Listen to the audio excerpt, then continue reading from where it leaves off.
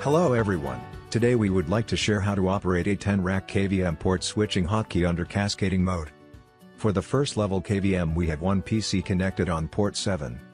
And we have another PC connected on the second level KVM port 1. As you can see, you can just switch to the preferred port based on the OSD tree view list. First we switch to level 2 PC.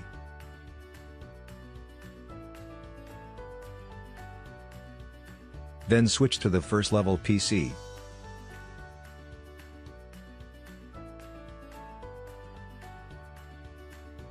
Regarding hotkey port switching. First, we have to invoke hotkey setting mode. OK, now hotkey dialog pop up. Since we will switch to the second level KVM, we type 08 then the dash symbol will appear automatically means this is for the second level port switching. Then type 1 and enter. The KVM will switch to the second level KVM port 1.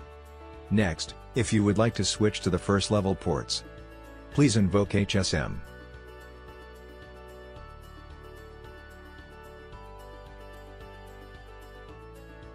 Just type the port number.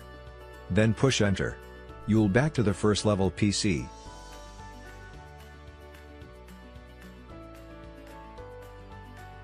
Please be noted for the first level ports, Digi0 is not must.